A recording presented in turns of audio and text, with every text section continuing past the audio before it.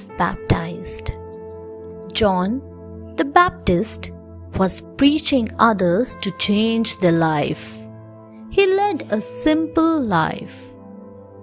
For food, he would eat honey, wild berries, and insects. People would come from far and near just to hear him preach.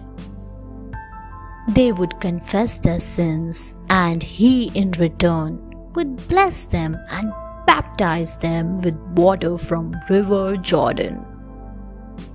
John knew that one day a great man would come and he would baptize the people with the fire of the Holy Spirit. One day, Jesus came to John to be baptized. Seeing him, John knew at once that the great man had come. He said, It is you who should baptize me. Jesus replied, Let us do what the Lord asks of you. So John baptized Jesus. And as soon as Jesus was baptized, the sky opened up and the Holy Spirit came like a dove.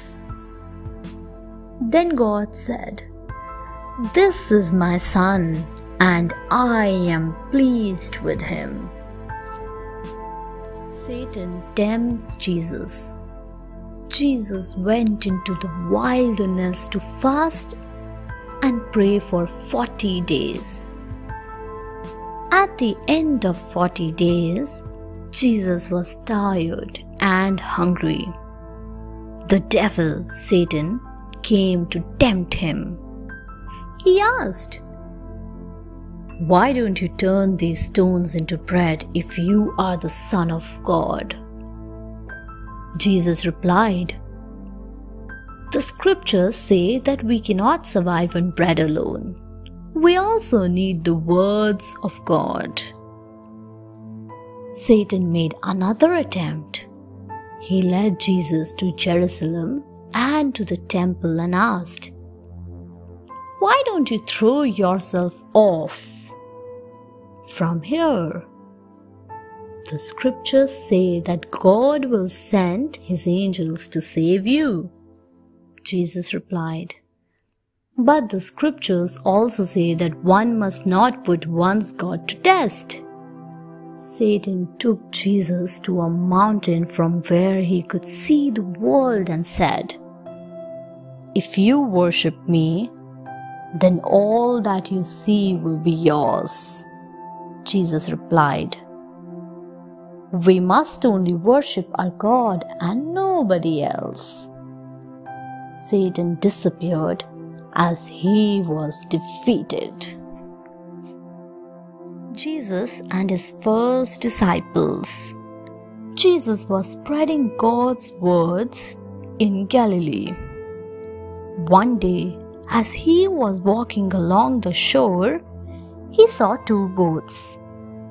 Jesus stepped into one boat and requested the owners, Andrew and Simon, to take the boat deeper into the sea. He asked them to throw the net into the water. The fishermen were reluctant as they had been unsuccessful in catching any fish but they obeyed Jesus. To their wonder, they caught so many fish that they were not able to pull the net into the boat. Their friends James and John had to get their boat to help them. Seeing the miracle, all four fell at Jesus' feet scared. Jesus told them not to be scared and to follow him. They left their trade and decided to follow Jesus. They became his first disciples. The miracle Once there was a marriage feast at Cana in Galilee. Mary and Jesus were also invited. As they were sitting down to eat, Mary noticed that the wine jars were already empty. She told Jesus to help. Jesus saw six large water pitchers lined against a wall. Jesus instructed the servant to fill those pitchers with water. After the steward had done so, he told him to take the water to the guest of honor to taste it. The servant took the water to the guest of honor who was sitting near the bridegroom. The guest of honor took the water and tasted it. The water had turned into wine. He exclaimed, This wine is very good. The bridegroom must have saved this for the last. This miracle at the wedding was the first one by Jesus. It strengthened the disciples' faith in him. Thanks for watching. Do like, share, subscribe to Sahil Book House.